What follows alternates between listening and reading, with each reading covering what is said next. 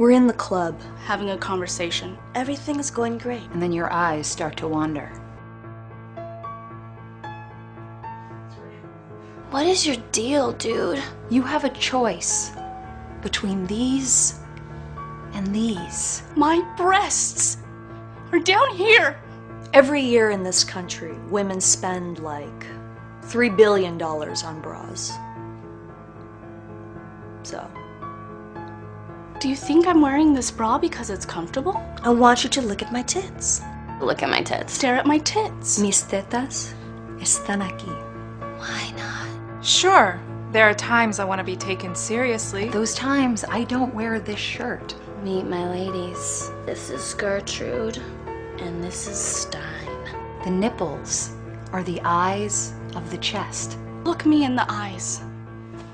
I dare you.